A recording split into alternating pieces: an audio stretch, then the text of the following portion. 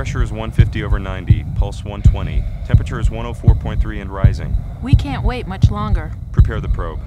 In the year 2053, medical technology has taken a giant leap forward.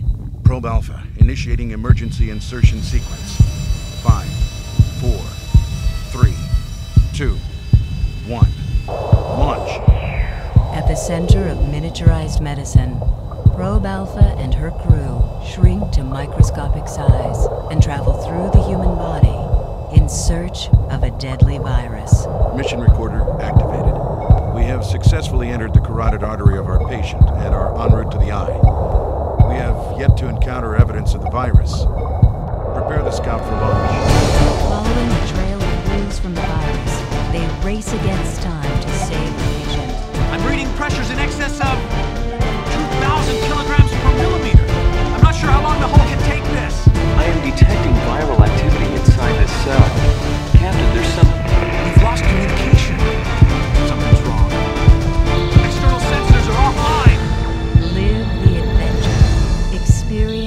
microcosm.